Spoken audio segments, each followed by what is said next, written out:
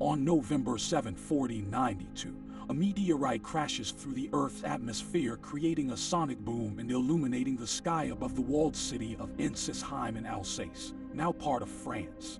The deafening sound of the fireball is heard over a hundred miles away. Maximilian I, who was proclaimed Holy Roman Emperor soon afterward, assembled his council to determine the significance of this event. Their verdict was that the meteorite was a favorable omen for success in Maximilian's wars with France and Turkey. It is one of the earliest instances of a meteorite crash on record. One of the greatest scars on our planet is hidden beneath the Yucatan Peninsula in the Gulf of Mexico. It created a hole over 90 miles in diameter when a massive asteroid struck the planet 65 million years ago and brought a calamitous end to the reign of dinosaurs. 25 years ago, humanity first witnessed a collision between a comet and a planet.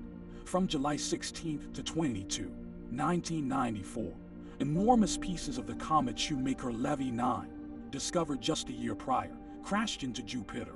Over several days, creating huge, dark scars in the planet's atmosphere and lofting superheated plumes into its stratosphere.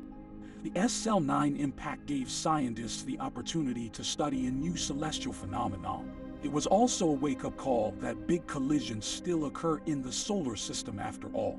If Jupiter was vulnerable, maybe Earth too. Had the comet hit Earth instead, it could have created a global atmospheric disaster much like the impact event that wiped out the dinosaurs 65 million years ago. The historic Jupiter comet impact led to the creation of NASA Planetary Defense Coordination Office. These fears are acted out in films such as Deep Impact and Armageddon. You might think that this only happens in Hollywood, but that is not the case.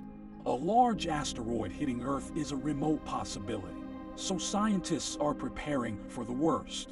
Asteroids are rock chunks that were too small to become planets when the solar system formed. Smaller asteroids are referred to as meteoroids, and when they pass through Earth's atmosphere, they are referred to as meteors. If they reach the surface, they are referred to as meteorites. NASA recorded over 700 fireballs caused by objects entering our atmosphere between 1988 and 2017.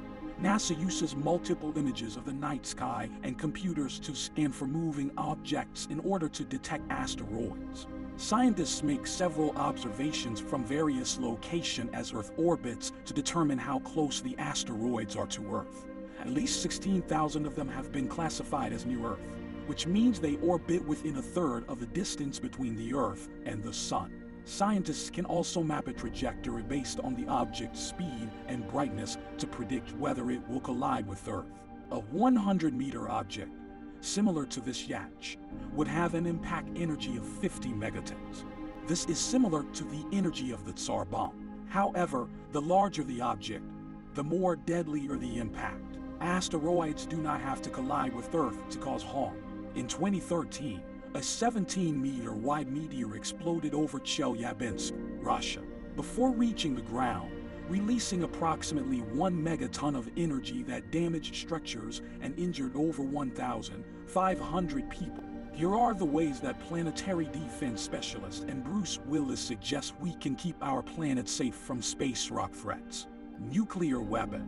If we discover a dangerous space rock at the last minute, that is an existing technology and with some modifications, a rocket armed with a warhead could launch from a conventional launch pad in a relatively short period of time.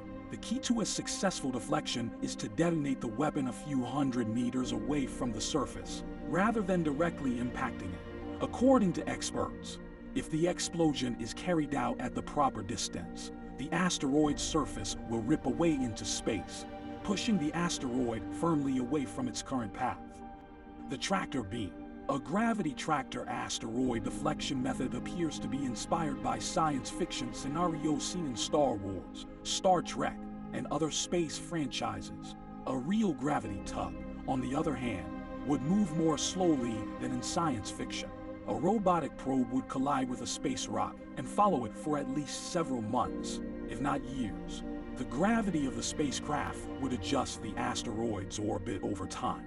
The greater the probe's mass, the stronger its gravitational pull and the faster the orbit would move. Laser ablation. In a more extreme scenario, laser ablation is another possible method for moving asteroids. Spacecraft, possibly as small as CubeSats, would circle an asteroid and strategically laser a portion of its surface. Surface material ablation, or removal, would cause the asteroid to drift in the opposite direction. Lasers are not new to space, but not on this scale. We're more accustomed to lasers being used to assess the properties of rocks by Mars rovers such as Curiosity and Perseverance. Getting the laser to move the rock is an entirely different technological challenge. Kinetic impactors are one method for altering an asteroid's trajectory.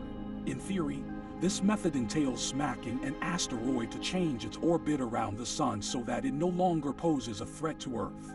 Some asteroids may be loose piles of rubble that are unsuitable for this technique, but it may work on a solid rock. In world's first attempt to change the direction of an asteroid, scientists hope the method can prevent collisions with Earth. A NASA spacecraft has hit an asteroid in an unprecedented test designed to prevent potentially devastating collisions with Earth.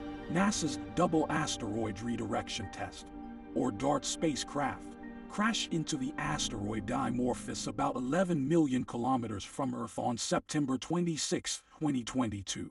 The mission's goal was to see if a spacecraft could change an asteroid's trajectory with sheer kinetic force, nudging it off course just enough to keep Earth safe. The final option is the Bruce Willis method. Although it is highly unrealistic, this technique from Armageddon is probably our favorite.